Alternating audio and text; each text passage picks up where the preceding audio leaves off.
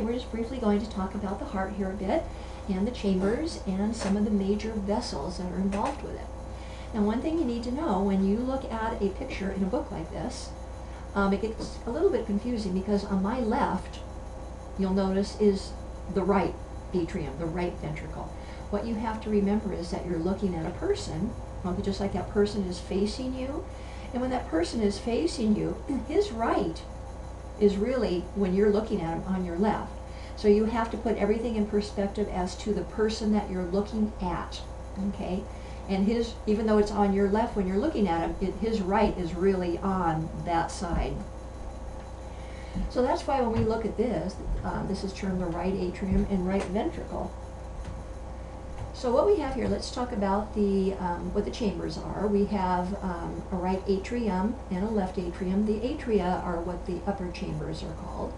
And you'll notice again the right one right there, even though it's when I look at it on my left, that is indeed the right one. Because if a person was facing me, that would be his right.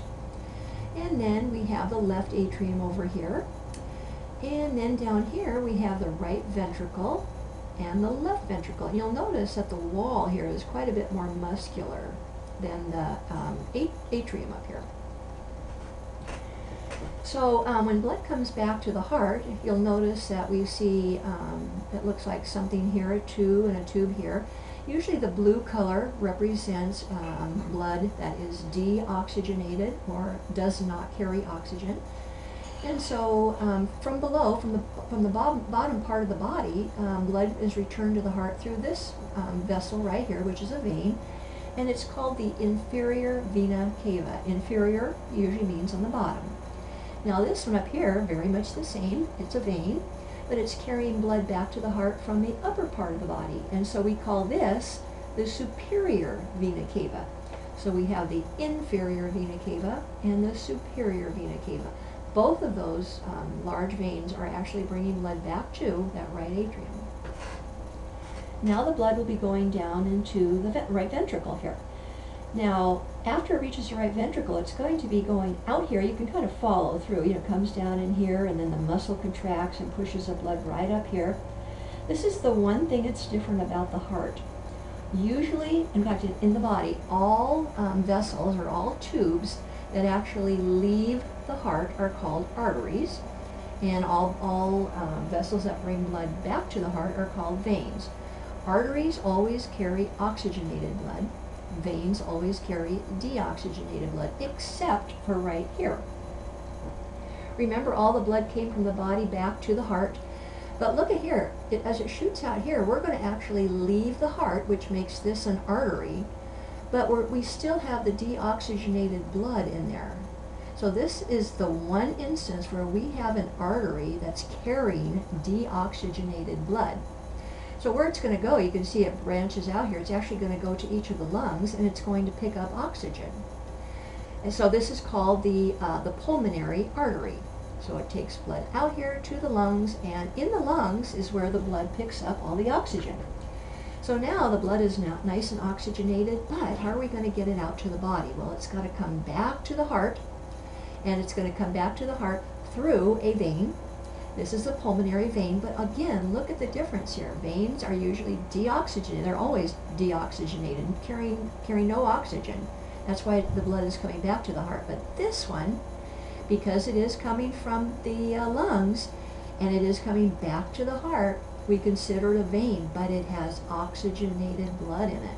So that's one thing that's kind of different about an artery and a vein here with the heart. These two, the pulmonary artery and the pulmonary vein, they do the opposite of what you would be thinking when you think of the rest of the body's arteries and veins. So anyway, the blood came here, down here, it went out here to the lungs, filled up the blood, collected all the oxygen, came back to the heart, and now it ends up in the left atrium.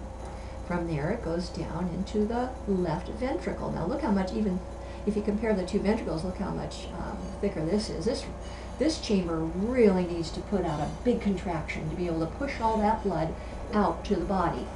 So it contracts and it comes right up here and goes out the aorta. So it looks like it, you know, it's, you have to kind of picture in your mind, it goes underneath this and then comes out here. So that is the aorta.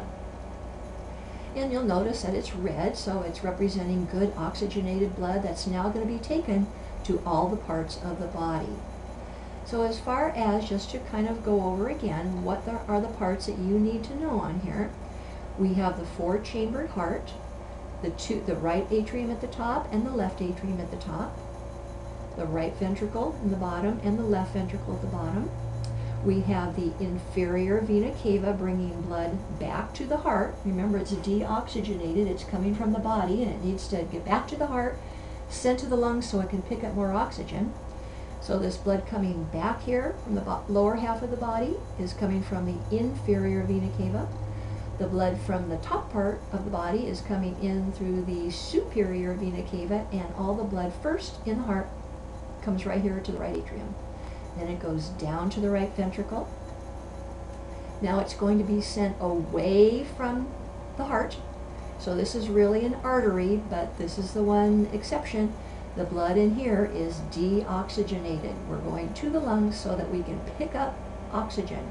Once it picks it up, we come back over here and we come back into what? A vein. But look at here. This vein has oxygenated blood. So it's something different. So it comes in here, it goes into the left atrium, down into that real thick-walled left ventricle, which is going to contract greatly and push all that blood out the aorta, right here, that very thick-walled artery, to, which is then going to branch into all parts of the body.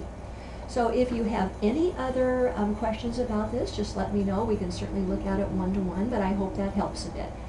Um, I'd like to have you give me a call so that I can give you credit for watching this, and I will, it's not a quiz, I just want to speak with you. I'll ask you a couple questions to make sure that you understand it, and then you can get the full credit for this particular project.